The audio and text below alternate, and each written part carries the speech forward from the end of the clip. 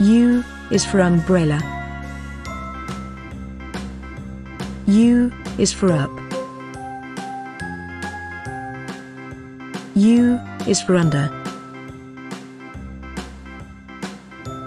U is for uncle. U is for unhappy. U is for universe. U is for underwater. U is for unicorn. U is for uniform. U is for ugly. U is for umpire. U is for UFO. Thank you for watching GNZ World. Please like, share and subscribe.